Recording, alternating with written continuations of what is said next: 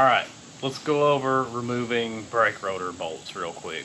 Um, if you just go to remove a brake rotor bolt without some preparation, you're probably going to round the fastener off and have a whole another problem. So today we are working on a Yamaha MT-07, that repair manual, and we're going to take our brake rotor off and we thought we'd just share this with you. So the number one thing to remember when removing the brake rotor is to heat the fastener with whether it be a heat gun or a torch you need to heat it up. These are going to have thread lock on them and if you just try to loosen them like I said the head's going to round off you're going to run into problems. So as we look down here at the bolt you'll notice typically on a brake rotor you don't have a huge fastener to work with and they're almost always held on by thread lock. I'm not going to say always but typically. This one most certainly is.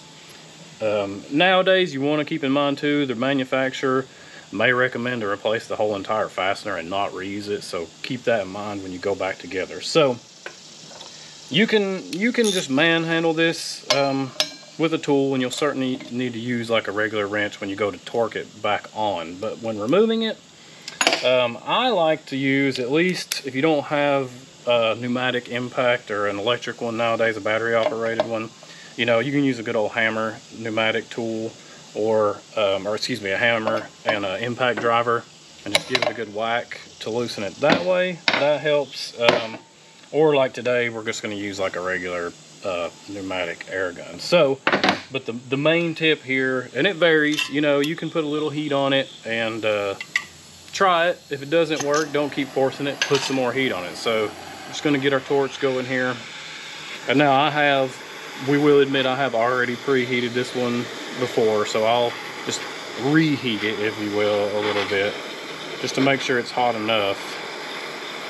And these are using like a hex, which is pretty common. So this is a six millimeter hex, so you want to make sure you put your socket in, make sure it's all the way bottomed out also. Sometimes you can get it in there and you don't have it all the way in, you put the power to it and it's going to round it off also. So we're just going to give it a quick, comes right out.